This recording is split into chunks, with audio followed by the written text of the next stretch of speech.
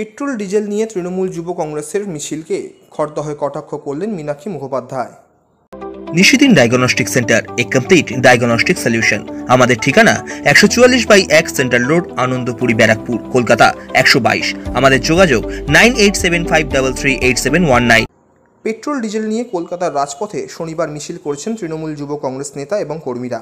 সেই বিষয়ে খড়দহে সংবাদ মাধ্যমের মুখোমুখি হয়ে ডিওয়াইএফআই রাজ্য সম্পাদিকা মীনাক্ষী মুখোপাধ্যায় তৃণমূলকে কড়া ভাষায় আক্রমণ করেন এবং বলেন মানে কলকাতার রাস্তায় গরুর গাড়ি নিয়ে মিছিল করেছে তৃণমূলের সংগঠন কি বলবেন এবার?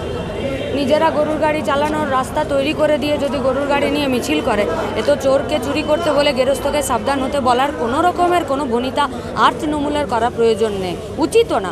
আর যে যুবরা এখনও পর্যন্ত তৃণমূলের সাথে যাচ্ছে, আমরা তাদেরকে বলব যে সামনে কারা আছে, কাদেরকে দেখছেন? সাদা খাতা জমা দিয়ে আপনার বাচ্চাকে পড়ানোর জন্য স্কুলের চেয়ার ভর্তি করছে। আর যারা চাকরিতে পরীক্ষাতে পাস করে অনশনে বসছে তাদেরকে পেটাচ্ছে। এরপরও যদি তৃণমূলের ঝান্ডা ধরে গরুর গাড়ির মিছিল করেন, গোটা ভবিষ্যৎ প্রজন্মকে তাহলে আর একুশ শতাব্দীতে যেতে পারব না, পিছনের দিকে টানতে হবে।